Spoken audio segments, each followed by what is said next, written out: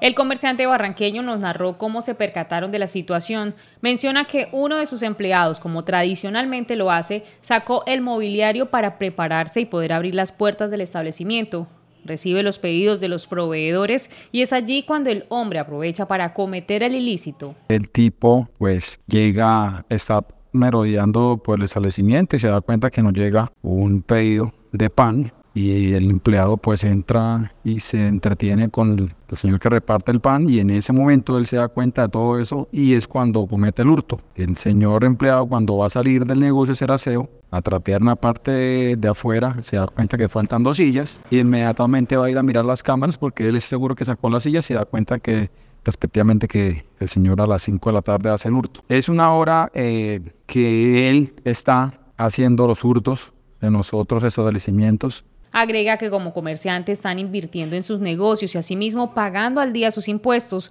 pero ven con preocupación cómo la seguridad los ha tocado significativamente. Y pues la verdad, pues nosotros como comerciantes nos preocupamos por eso porque no saben en realidad cómo uno tiene que sacar sus recursos para poder comprar las cosas, para poder darle un buen uso a estas enseres para dar una buena atención al cliente y estas personas de un momento a otro, así de la noche a la mañana, pues robar y dejarlo a uno incompleto, pues eso duele. Y es preocupante porque ya se ha visto en varios establecimientos del mismo tipo, del mismo modo operandi de este individuo.